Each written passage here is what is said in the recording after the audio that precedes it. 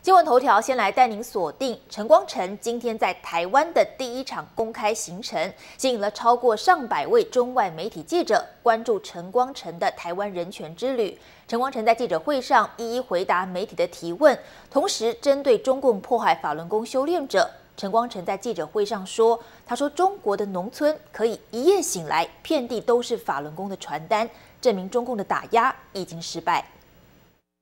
超过一百二十位记者，四十多家国外媒体，这是陈光诚到台湾的第一场国际记者会。陪同出席的包括纽约大学教授孔杰荣、多位台湾学者与关心中国人权的立法委员。陈光诚说，此行的目的就是向台湾学习民主经验，同时提醒台湾各界认清中共政权。目前我觉得应该有一个变化，应该把跟中共当权者打交道转移到。和大陆的普通维权民众打交道上来，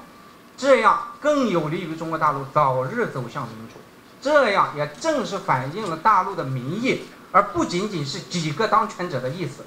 陈光诚被问到如何看待中共迫害法轮功，他以“失败”两个字来形容中共所发动的迫害。尽管这么多年来啊，从好像是九九年吧就开始迫害，这么多年来，但是我们看到，啊，一夜醒来。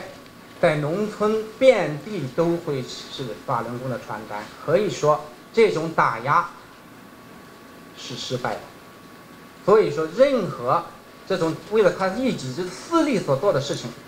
久而久之是不会得逞的。随后，陈光诚前往中央广播电台录制对大陆广播节目，同时在节目中强调短波对于中国民众获得自由讯息的重要性，呼吁台湾不要轻易弃守这个促进中国民主化的利器。在台湾第一天的行程满档，陈光诚接下来将展开为期半个月的人权之旅。新唐人演的电视，陈辉模、刘姿莹，台湾台北报道。